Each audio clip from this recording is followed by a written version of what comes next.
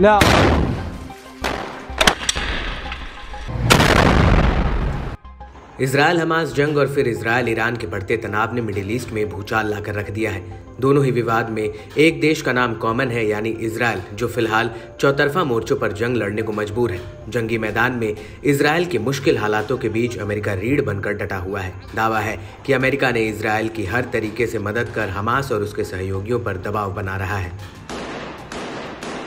हालाँकि अमेरिकी गतिविधियों के चलते अब मिडिल ईस्ट में तनाव चरम पर आ पहुँचा है। दरअसल, ईरान के हाल में इसराइल पर भीषण हवाई हमले के बाद यूएई, सऊदी जैसे अरब मुल्कों ने अमेरिका को खुले तौर पर कह दिया है कि ईरान पर जवाबी हमले या फिर इराक और यमन पर हमले के लिए उनकी ज़मीन का इस्तेमाल न किया जाए।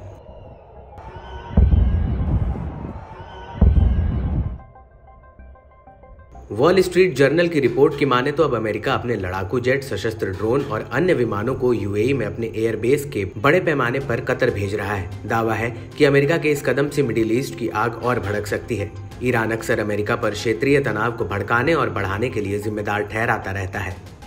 बता दें कि अमेरिकी रक्षा मंत्रालय यानी पेंटागन की बड़े स्तर पर रीपोजिशनिंग पॉलिसी बढ़ते क्षेत्रीय तनाव के बीच में आई है।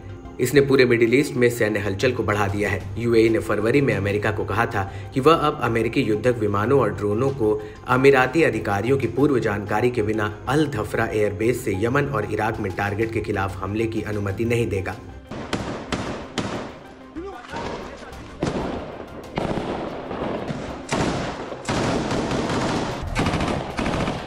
खास बात है कि इसराइली युद्ध के चलते फिलिस्तीन के समर्थन में सैन्य अभियानों की ऐसी सीरीज़ शुरू हुई है, जिससे इसराइल की मुश्किलें थमने का नाम नहीं ले रही हैं। लेबनान, इराक, यमन, सीरिया और बहरीन में प्रतिरोधी की धूरी के सदस्यों ने इसराइल पर भीषण हमलों को बढ़ाया है।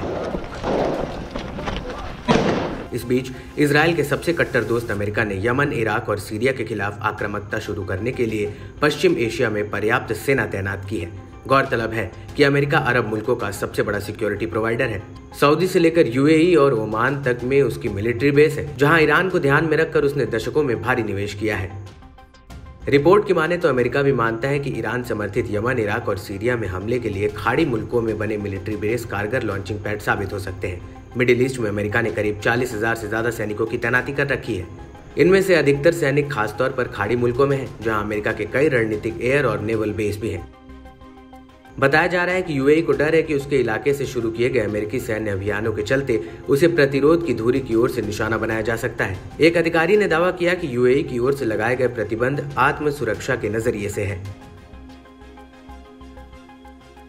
ऐसे में ये देखना काफ़ी अहम रहेगा कि अमेरिका के इस कदम पर ईरान की क्या प्रतिक्रिया रहेगी। दरअसल, अमेरिकी एयरबेस के यूएई से कतर शिफ्ट होने से अमेरिका ईरान के नज़दीक आ गया है, जो ईरान के लिए खतरे की घंटी साबित हो सकता है और मिडिल ईस्ट में तनाव के बढ़ने की एक और वजह बन सकता है।